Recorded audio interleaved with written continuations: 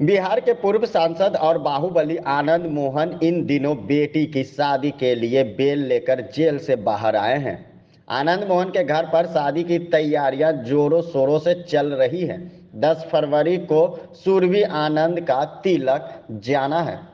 इसके बाद 15 फरवरी को सुरभि आनंद और राज्यहंस की शादी है।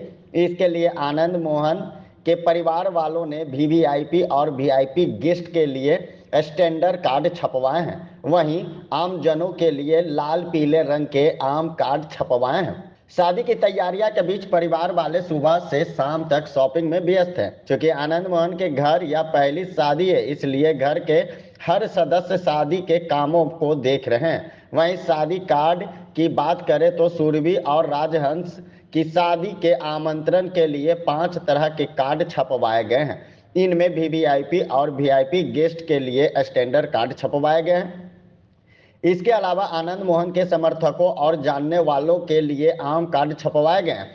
इसमें गुलाबी रंग के इन्वेलप में नीले रंग का स्टैंडर्ड कार्ड है। इसमें सुरभि आनंद और राजहंस की सगाई की एक तस्वीर लगी हुई है। इस कार्ड में सुनहरे रंग से, शादी से जुड़ी सभी जानकारी दी गई है। आनंद मोहन एक लंबे समय से जेल में बंद है। वहीं पूरा परिवार पटना के पाटलिपुत्रा स्थित घर में रहता है।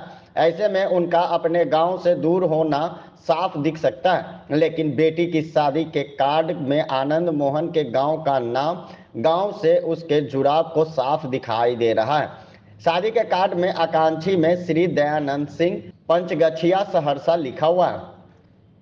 बेटी की शादी के लिए पाँच तरह के कार्ड छपे हैं। इसमें जो स्टैंडर्ड कार्ड वो दिल्ली में छपवाया गया और दिल्ली से ही मंगवाई गई है। इन सभी कार्डों में सूरवी की शादी की तारीख का ज़िक्र तो है, लेकिन शादी के वैवाहिक कार्यक्रम का कोई ज़िक्र नहीं है।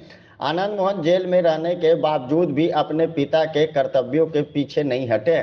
सुरभि की शादी जेल में रहते हुए उन्होंने तय की। आनंद मोहन की बेटी सुरभि आनंद पेशे से वकील है। वहीं उनके होने वाले दामाद राजहंस सिंह धनबाद रेलवे में एआरएम पद पर प्रमोट होकर वहाँ कार्यरत कर रहे हैं।